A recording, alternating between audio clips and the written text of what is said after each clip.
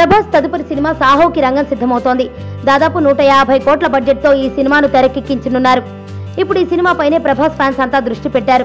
ఈ ప్రాజెక్టు తర్వాత జిల్ దర్శకుడు రాధాకృష్ణ కుమార్తో ప్రభాస్ ఒక సినిమా చేయనున్నట్టు వార్తలు వినిపించాయి. అయితే ఈ సినిమా నిజంగానే ఉందా అనే సందేహం అభిమానుల్లో లేకపోలేదు.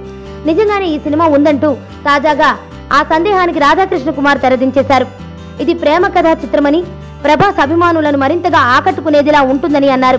ప్రభాస్తో ఈ సినిమా చేయబోతున్నందుకు చాలా సంతోషంగా ఉందని చెప్పారు. నా పేరు ధనుష్ రిషి అందరూ ముద్దుగా దరి దరి అని పిలుస్తుంటారు. దేవుడికి నా పైన ఉన్న క్లారిటీ నా బ్యాడ్ లక్ ఉన్న గ్రావిటీ నాకు చిన్నప్పుడే అర్థమైంది. నా లైఫ్లో లక్ ఫ్యాక్టర్ రాంగ్గా ఉండొచ్చు కానీ లవ్ ఫ్యాక్టర్ మాత్రం చాలా స్ట్రాంగ్గా ఉంది. ఒక మనిషి చేయి చూసి తన జాతకం మొత్తం చెప్పేయగలను.